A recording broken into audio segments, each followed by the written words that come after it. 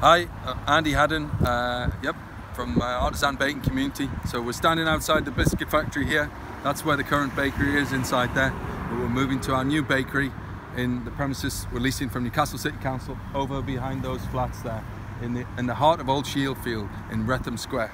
So we're running a crowdfunding campaign to uh, make the money, uh, to pull the money in to refurbish that building.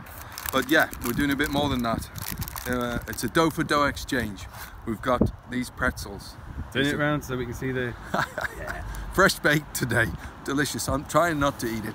But yeah, so a little bag of these pretzels in lots of venues around Newcastle. Places like the Cluny, the Brandling Villa, various bars. You'll find out on Facebook.